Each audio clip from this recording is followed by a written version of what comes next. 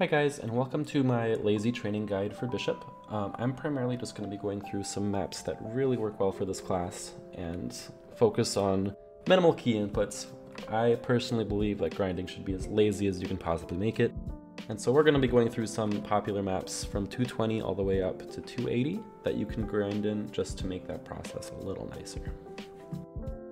Now I do want to say this guide will be very specific to bishops. I don't believe these rotations will work to other classes since it does depend on you having teleport as well as balancing two summons with decent uptime. Um, anything beyond that might get more involved, but if you're playing something else and can get some inspiration from this, that's all for the better. Now, that said, Bishop players, you do need to be reasonably strong to make a lot of these work. Uh, your feathers should be one-shotting wherever you're training just to make sure you can clear up stragglers without too much hassle. So if you need to compensate in any ways, what I would recommend is making sure you have your infinity uptime as close to 100% as possible, and that'll help drastically lower the amount of funding you need to be able to one-shot in a lot of these maps. I will not be covering level 200 to 220 in this guide because really those levels just blow by super quickly at this point. Um, just stick to popular maps there, Below the Cave, anything in Reverse City, Slurpy Forest Depths, Hidden Iliard Field, all of those will be more than enough to take you to 220. With that said, let's jump right into the guide.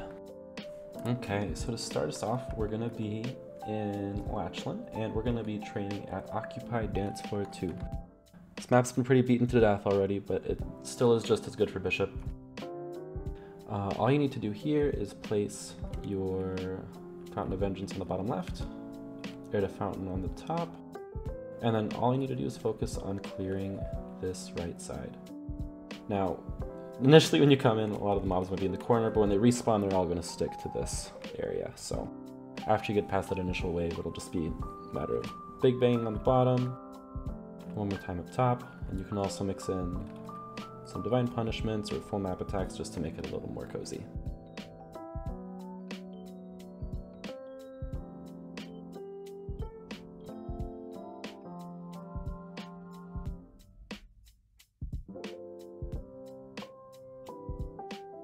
Moving along into Arcana, we have some pretty good maps here. Um, if you aren't strong enough for the deeper ones yet, I would recommend you try some of these early ones. Uh, most of the forest maps are pretty solid. But once you are strong enough to train these deeper maps, I would recommend the deepest part of the Cavern Lower Path. Uh, this map is really nice for lazy training, especially for Bishop. Uh, I love this map because you don't have to do any moving at all. You can just stand still and press Big Bang occasionally.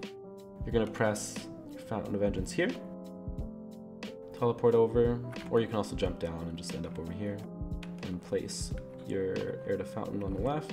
And then all you have to do is stand here in the middle and then just cast Big Bang.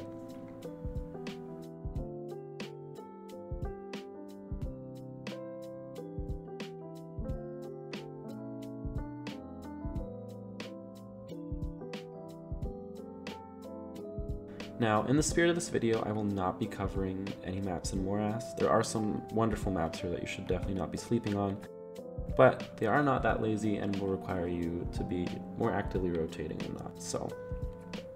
Um, but if you do train here, I would strongly recommend Shadow Dance Hall 2. This map has a lot of spawns, and will get you some pretty good rates for just a little more effort.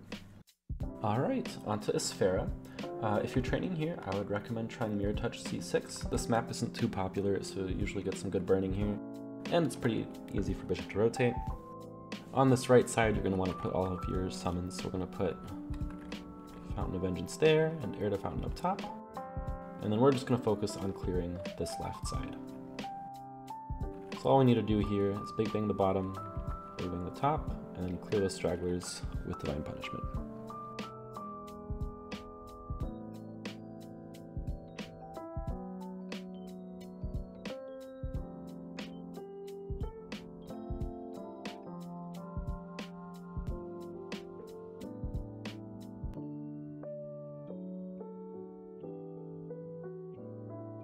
So once you hit 245, this may come as a bit of a surprise, but I do think Last Horizon 4 does edge out Void Current 3, at least as a lazy map um, for Bishop.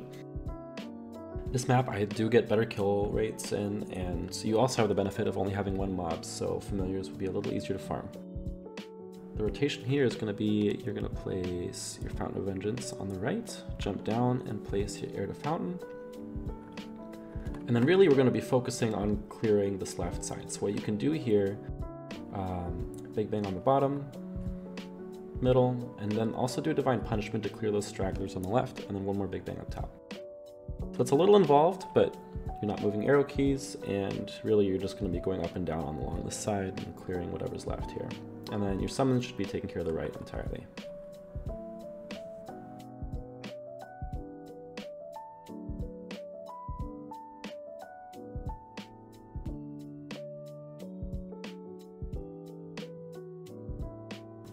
When you reach 250, you can start training the Labyrinth of Pain. There's not too many great maps here. A lot of their shapes don't really lend well to easy rotations. Uh, the nicest that I was able to find was uh, Labyrinth of Suffering Core 2. What you're going to want to do here is place your Fountain of Vengeance on the bottom left. Do your to Fountain on the top left. And then you can just focus on this right side of the map.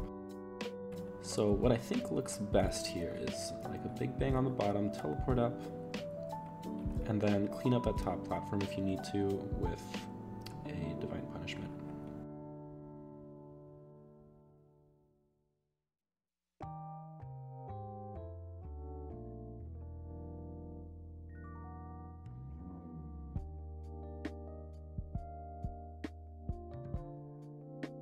Now, once you get to 255 and you have access to Limina, uh, keep in mind that these maps do start getting pretty popular.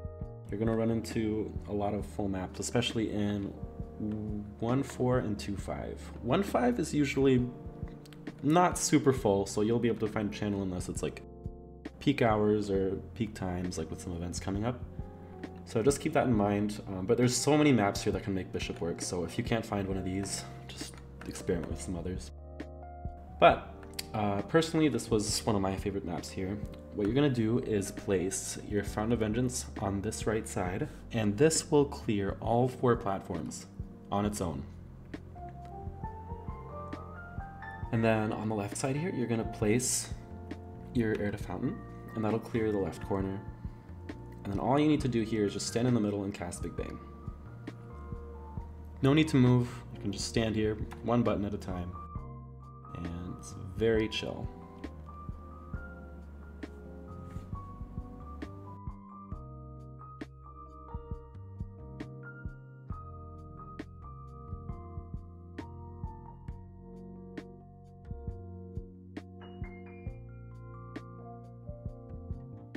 Alright, well congrats on 260 and welcome to Cernium. These maps onwards are still just as easy for Bishop to train in. It is very nice. Um, though, make sure now that we do have these new symbols at hand that you are still strong enough to be one-shotting. Now, if that means waiting a while and staying in Limina until you have enough Sacred Force to train here, that's perfectly fine. And do keep in mind, when you start training here, you're not going to get familiars or droplets anymore, so I do know a lot of people would prefer to stay in Limina a while until they at least get some boss familiars under their belt. That said, you do get a lot more XP training here, so once you are ready to, just get on that.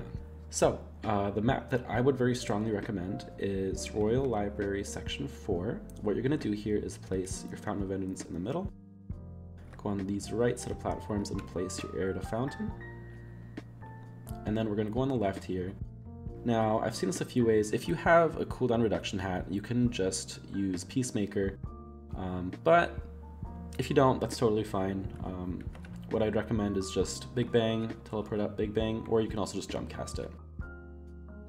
And then just use your FMAs on rotation, and even then you probably won't even need to use Big Bang anymore.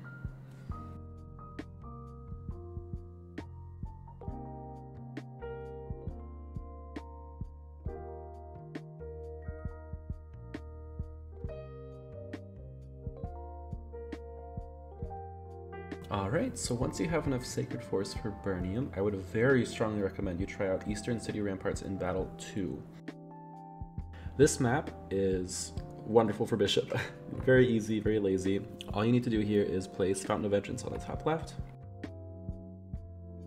Heir to Fountain on the bottom left, and then we're gonna go over to these four right platforms, and all you need to do is teleport up and down on these and just cast Big Bang. And that should be full clearing the map.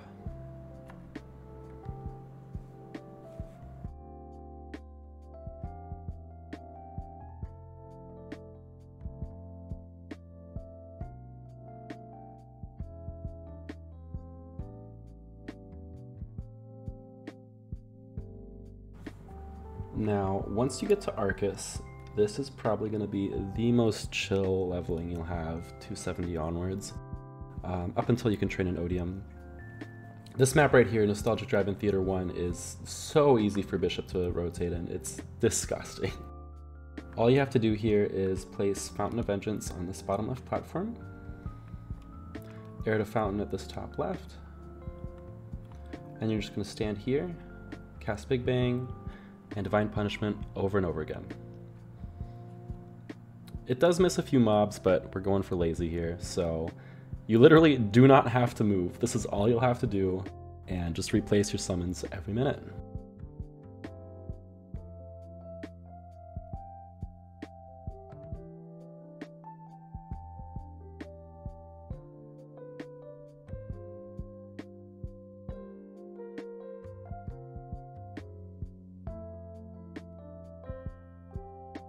Alright, so that should about cover it for this guide. Uh, that should take you all the way until 275, 280, or whenever you can start training in Odium. I have not gotten to try maps here yet because I do not have enough Sacred Force, so I will have to come back with a later video here. If you have any other suggestions for maps I should try out, or other video ideas, please let me know in the comments. And thanks for watching.